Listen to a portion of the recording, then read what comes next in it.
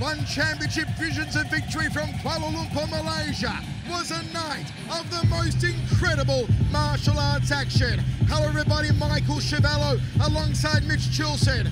Mitch, the night began with Michelle Nicolini showing why she is the finest BJJ exponent on the planet. She put Kiselova to sleep. The grappling queen showed up tonight and showed why she is one of the very best martial artists in existence.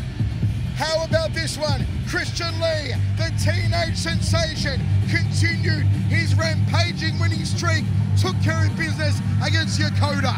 Yokota was tough. He was durable. He hung in there for two rounds, but Christian Lee was too much in the end and got the win. The most emphatic, the most aggressive performance of the night, Malaysian superhero Agilan Thani put the hammer down on Amitesh Chaubey. Aguilantani was calm and composed and showed wisdom unlike his years. He really put it on Chaubey, got the win by brutal Americana.